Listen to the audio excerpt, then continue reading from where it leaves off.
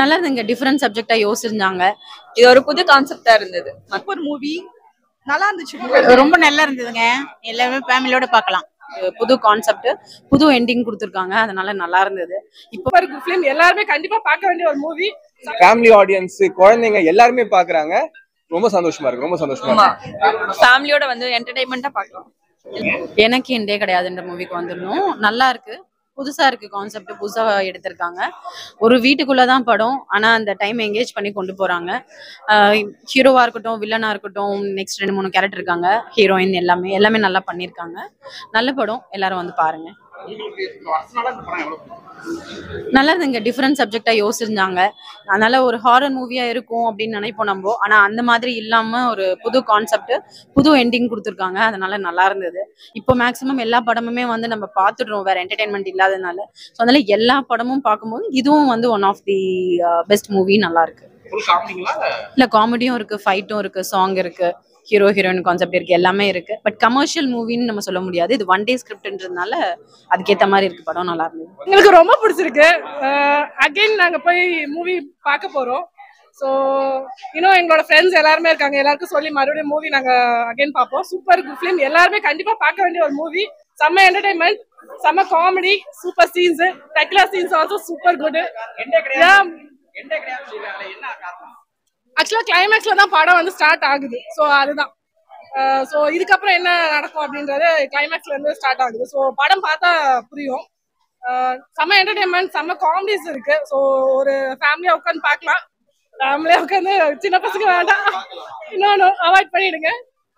Nice இல்ல சின்ன பசங்க வேண்டாம். அந்த ஒரு சீன் தான் டக்கிலா சீன் தானே. மற்றபடி நல்ல என்டர்டைன்மெண்ட் குட் காமெடிஸ் இருக்கு. பார்க்கலாம். நைஸ் ரியாலி சூப்பர் மூவி நல்லா இருந்துச்சு மூவி நல்லா என்டர்டைன்மெண்டா போச்சு. ஆ நல்ல காமெடி மஸ்தான் பாய் நல்லா பண்ணியிருந்தாரு காமெடி ரியாலா ரொம்ப நல்லா இருந்துச்சு. சாரி இல்ல இல்ல இல்ல ஒரு என்டர்டைன்மெண்ட் கரெக்டா தான் போச்சு. ஒரு வீட்டுக்குள்ளேயே இருந்தாலும் ஒரு போர் அடிக்காம எடுத்துட்டு போனாங்க ஸ்டோரிஸ் ரொம்ப நல்லா இருந்துச்சு. யா நல்லா பண்ணிருக்காங்க. வில்லனும் நல்லா பண்ணிருக்காங்க. எல்லாருமே நல்லா பண்ணிருக்காங்க. ஒரு ரியல் லைஃப்ல நம்ம கூட இருக்கவங்க மாதிரி ஒரு நல்ல சின்ன பசங்க வேண்டாம். பெரியவங்க எல்லாம் நல்லா ஒரு காலேஜ் ஸ்டூடெண்ட்ஸ் ஆஃபீஸ் ஒர்க் பண்றவங்க எல்லாம் நல்லா. ஒரு என்டர்டைன்மெண்ட் மூவி நல்லா இருக்கு. தேங்க்யூ ஆமா. ஃபேமிலியோட வந்து என்டர்டைன்மெண்டா பார்க்கலாம். எல்லாரும். ம் நல்லா இருந்துச்சு. இது ஒரு புது கான்செப்டா இருந்தது. மத்த மூவி மாதிரி இல்ல ரொம்ப நியூவா இருந்தது கான்செப்ட் இல்ல. ஃபுல்லா காமெடியா இருக்கும் ஆ ஃபுல் காமெடி நல்ல ஒரு ஃபன்னான மூவி இப்ப வந்திருக்கிற படத்துல என்ன பெஸ்டா இருக்கா? ஆ நல்ல பெஸ்டா இருக்கு. சூப்பர் ஆக்ட் பண்ணிருக்காங்க. ரொம்ப நல்லா இருந்ததுங்க. எல்லாமே ஃபேமிலியோட பார்க்கலாம். ரொம்ப நல்லா இருக்கு. காமெடியா இருக்கா? இருக்கு. பிடிச்சிருக்கு. ரொம்ப ஆ பிடிச்சிருக்கு. ரொம்ப பிடிச்சிருக்கு. மெசேஜ் என்ன? ஒரே ரூமுக்குள்ளே முடிச்சிடுறாங்க. எதுக்கு ஆசைப்பட்டோமோ அதை அடையாம தேவையில்லாததுக்கு போகும்போது தேவையில்லாத விளைவுகள் வரும். அதுதான் இந்த படத்துல சுருக்கி சொல்லியிருக்காங்க. நல்லா இருக்கு. சிவா வில்லன் நல்லா இருக்கு. என்னங்க சார் எயிட்டீன் பிளஸ் இருக்கு. ஆனா இப்போ யூஸ்வலா எல்லாத்துலயும் வர்றதுதான். நம்ம தேவையானதை எடுத்துக்கணும் தேவையில்லாத விட்டுடலாம் ஹீரோடதும் நல்லா இருக்கு வில்லன் தான் எம்எல்ஏ கேரக்டர் சூப்பரா இருக்கு. அது நல்லா இருக்கு. ஆ இந்த படத்துக்கு காமெடி. அந்த படத்தோட டைட்டில் வந்து டைட்டிலுக்கு ஏற்ற மாதிரி காமெடி நீங்க சிரிச்சுக்கிட்டே இருக்கலாம். அதான் இந்த படத்தோட இது. இந்த படத்துல ஒரு வில்லன் எக்ஸ்ட்ரானரியா நடிச்சிருப்பாரு. மொத்தமே ஒரு அஞ்சு பேர் தான் ஆமா. ஆ, நல்லா இருக்கு. நீங்க இன்ட்ரெஸ்டிங்கா இருக்கு. நல்ல இன்ட்ரெஸ்டிங் நல்லா ப்ளே பண்ணியிருப்பாங்க. சில இடங்கள் நல்லா வாய் விட்டு நல்லா சிரிக்கலாம். ரொம்ப வருஷம் ஆச்சு காமெடி படங்கள்லாம் வந்து. நீங்க சந்தோஷமா போய் பார்க்கலாம் கேரக்டர் ஆ நல்லா பண்ணியிருப்பாங்க எல்லாருமே நல்லா பண்ணியிருப்பாங்க பட் அதில் வில்லன் வந்து எக்ஸ்ட்ரா நிறைய பண்ணி ஒரு பெரிய ஃபீச்சர் இருக்கு. இந்த படத்தை நீங்க எல்லாமே போய் பார்க்கலாம் அஞ்சு மணில இருந்து நான் சுத்திட்டு இருக்கேன். ஷோஸ் போடுறாங்க இல்லன்றாங்க இல்ல நிறைய மூவிஸ் ஒரே டைம்ல வந்துருச்சுன்றாங்க. ஓடிக்கிட்டே இருந்தேன். ஆனா என் இப்ப ஒண்ணுமே பெயின் தெரியல. பயங்கர ஹாப்பியா இருக்கு. சார்ஜ் அப்டா இருக்குது தியேட்டர்ஸ்ல நாங்க எங்கெல்லாம் கிளாப் வரும்னு எதிர்பார்த்தோமோ நல்ல கிளாப் இன்னும் நிறைய நிறைய இடங்கள்ல ரசிக்கிறாங்க சிரிக்கிறாங்க. ஃபேமிலி ஆடியன்ஸ் குழந்தைங்க எல்லாருமே பாக்குறாங்க. ரொம்ப சந்தோஷமா இருக்கு ரொம்ப சந்தோஷமா இருக்கு. அண்ட் நீங்க எல்லாம் இவ்வளவு பேர் வந்து நிக்கிறீங்க இன்னும் சந்தோஷமா இருக்கு. எல்லாம் ஒரு ஃபேமிலியா பார்க்கும்போது ரொம்ப ஹாப்பியா இருக்கு.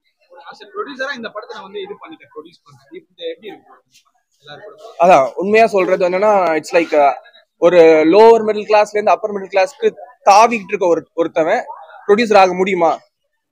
கிளம்புங்கப்பா அப்படின்னு தான் எல்லாரும் சொல்லுவாங்க. நான் ஆயிருக்கேன். எனக்கு சுத்தி இருக்க என் ஃப்ரெண்ட்ஸு அத்தனை பேரும். அவனால முடிஞ்சது காசு போட்டிருக்கானுங்க. அத்தனை பேர் நான் பே பேக் பண்ணிடுவேன். என்னோட ஃபேஸ் வேல்யூக்காகவும் என்னோட என்ன- என்னோட என்ன என்ன நிறைய சொல்ல. எங்க நட்பு எங்க நண்பர்கள் அத்தனை பேருக்கும் நான் பெரிய நன்றி நன்றி சொல்லணும். அவ்வளவு பேரோட உழைப்பு. நான் மட்டும் ஜெயிக்கல. நாங்க ஒரு இருபத்தஞ்சு பேர் ஜெயிச்சிருக்கோம். நான் அவங்க முன்னாடி நிக்கிறேன். அதான் உண்மை. ஆமா. வந்து நீங்க ஆமா. இப்போ இப்போன்றது வந்து இன்னொரு இன்னொரு ஒரு வாரம் கழிச்சு தான் சொல்ல முடியும். ஆனா கண்டிப்பா சக்சஸ் மீட் வைப்பன்ற நம்பிக்கை வந்துருச்சு. லோ பட்ஜெட் படம் பண்றது ரொம்ப கஷ்டம்னு சொல்லுவாங்க. உண்மைதான். ரொம்ப உண்மைதான். நானுமே சொல்றேன் லோ பட்ஜெட் படம் பண்றது கஷ்டம் தான் கஷ்டப்பட்டாதான் நம்ம பலன் அனுபவிக்க முடியும். இது வந்து லைக் அட்வைஸா நிறைய பேர் சொல்லிட்டு நம்மள தட்டி விடுறாங்க. தட்டி கொடுக்க மாட்டேங்கிறாங்க நிறைய பேர். தட்டி கொடுக்க முடிஞ்சா தட்டி கொடுங்க. இல்லைன்னா விட்டுருங்க. இது வந்து ஆர்கானிக்கா எல்லா இண்டஸ்ட்ரியிலயும் ஒரு ஃபால் வரும் ஒரு அப் வரும் ஒரு டவுன் வரும். ஆனா எல்லாருமே போராடலாம் அவங்கவுங்க ட்ரீம் ஒவ்வொருத்தவங்களும் ஒரு விஷயம் பிடிக்கும். அந்த ஒரு இண்டஸ்ட்ரியா இருக்கும். லோ பட்ஜெட் படம் எல்லாம் என்கிட்ட வராதீங்க அப்படின்னு சொல்ற காலம் வந்து ஆமா ஆமா. ஆமா. இல்ல சார் விஷால் அண்ணன் சொன்னது என்னை பொறுத்த வரைக்கும் நூத்துக்கு இல்ல இருநூறு சதவீதம் உண்மை. ஓகேங்களா? நானுமே சொல்லுவேன். ஆனா ஒரு விஷயம் இருக்குன்னா அவர் சொன்ன இடம் என்னன்னு எனக்கு தெரியாது. நான் ஆஸ் அ கார்த்திகா நான் என்ன சொல்றேன்னா ஒரு மூவி கிரேஸா மூவி மேடா ஒருத்தர் இருக்காங்க இல்லைங்களா? படம் இந்த படம் நம்ம ஒரு படம் நடிச்சிட மாட்டோமா? நம்ம ஒரு படம் எடுத்துட மாட்டோமா? நம்ம படத்துக்கு ஒரு க்ரௌட் வந்துடாதான்னு ஒரு பதினஞ்சு இருபது வருஷமா எந்த ஒரு பேக்ரவுண்டும் இல்லாம யார் ப்ரொடியூசர் கிடையாது எந்த எதுவுமே இல்லாம மாச சம்பளம் பதினாறு வருஷம் மாச சம்பளத்துல இருந்து முத மாச சம்பளத்துல இருந்து ஒரு போர்ஷன் ஒதுக்குனவன் இந்த மாச சம்பளத்துல இருந்து ஒரு போர்ஷன் ஒதுக்கி இந்த படத்தை பண்ணிருக்கேன் நான் நினைச்சிருந்தா அவங்க சொன்ன மாதிரி லேண்ட் வாங்கிருக்கலாம் குழந்தைக்கு சொத்து வாங்கிருக்கலாம் தட்ஸ் நாட் மை கோல் நான் ஏதோ விஷயத்துக்காக இந்த இந்த இங்க வந்திருக்கேன் இவ்வளவு பேர் நான் நின்று இருக்கேன்றேன்னா இதே மாதிரி எத்தனையோ பேர் இருப்பாங்க. சோ நம்ம தட்டி கொடுப்போம்.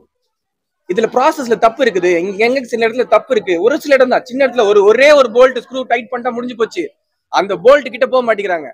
போக முடியாதுன்றாங்க. தட்ஸ் நாட் த இருக்கலாம். எது வேணா இருக்கலாம். நான் முத படம் பண்ணியிருக்கேன். அரசியல்ன்றது வந்து ஒரு பயப்படுற விஷயம் கிடையாது. நான் சொல்றேன் ஓப்பனா சொல்றேன். அரசியல் கிடையாது. சார் மக்களுக்கே எப்படி சார் தெரியும்? நான் யாருன்னு இவ்வளவு தெரியாதுல்ல சார். எதுக்கு நான் பார்க்கணும்? நம்ம டிவி போ வீட்டில் டிவி போயிட்டு இருக்கோம் ஹால்ல கிராஸ் ஆகி போவோம். ஒரு விஜய் பாட்டு இருந்தா டக்குன்னு திரும்பி பார்ப்போம். ஆப்வியஸ் ஒரு ஒரு அஜித் பாட்டு இருந்தா பார்ப்போம். தலை பாட்டு தளபதி பாட்டு பார்ப்போம். என் பாட்டை யாரும் பார்க்க மாட்டாங்க. பார்க்கணும். விஜய் சாரோ அஜித் சாரோ அவங்களுக்கு ஒரு அமராவதி வந்திருக்கு ஒரு நாளைய தீர்ப்பு வந்திருக்குன்றத எல்லாரும் தெரிஞ்சுக்கணும். எல்லாருக்குள்ளயும் ஒரு விஜய் இருக்காங்க சார் எல்லாருக்குள்ளயும் ஒரு அஜித் இருக்காங்க சார். நம்ம தான் சார் க்ரோ பண்ணணும்.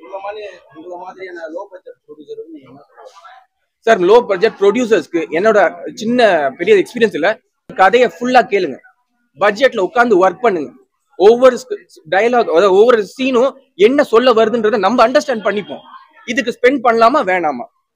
ஓ ஓகேவா இல்லையா? அப்படி ஒரு ஃபுல்லா அதாவது ப்ரொடியூசரும் ஒரு டெக்னீஷியனா டைரக்டர் கூட ஒரு அசிஸ்டன்ட் டைரக்டர் மாதிரி ஒர்க் பண்ணா ஹண்ட்ரட் பர்சன்ட் என்னோட சரியான பயிற்சி இருந்தா எந்த ஒரு எந்த விஷயமும் நஷ்டம் ஆகாது.